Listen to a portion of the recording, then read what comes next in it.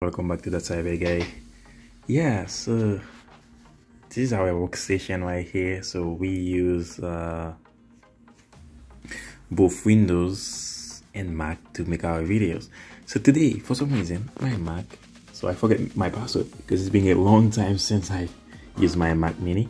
So what i'm going to uh, to do because i had to do some research you know to reset the password and uh, it's very hard to find a useful video and I just want to make that video so hopefully we can troubleshoot and fix this together.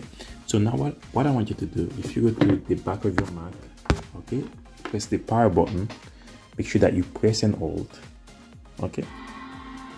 And then you're gonna wait for your monitor until there is a signal. Now keep pressing until your monitor turns on. So uh, hopefully what it's gonna do is gonna help you to uh, enter a kind of you know recovery mode. There we go. Right now we can just go ahead uh, and go to option and continue. My apology.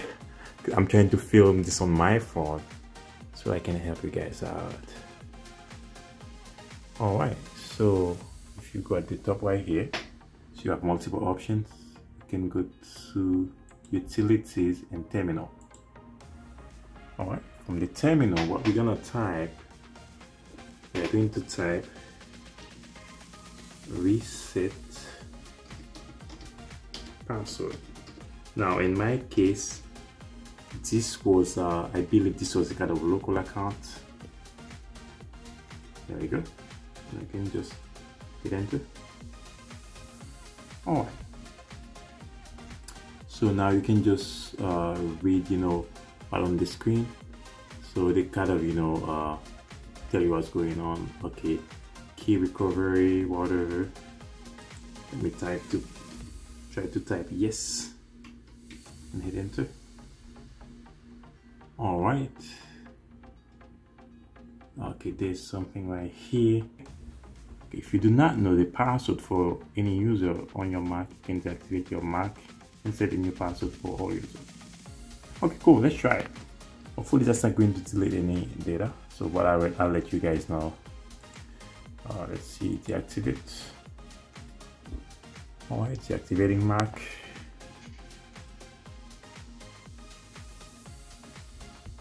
Right, cool. New password, verify password, and password end. Now I'm going to just pause it and be back because I cannot tell you what the password is gonna be. All right, so right now after I enter that new password and confirm it this is your your uh it has been created so let me restart. Exit we're going to go to exit and then restart.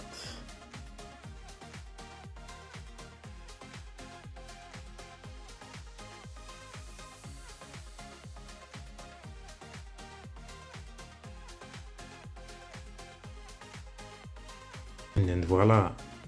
Yeah I'm successfully logging right now. But now what you have to do you probably have to uh, relogging and uh, use your internet connection to relogging and synchronize everything. Yeah if you find this video useful what I want you to do check out our channel. So many times we don't do troubleshooting. We are just just you know sharing cybersecurity skills for free. Now not only if this video helped you I want you to just check out our videos to just start your cybersecurity journey for free. Thank you.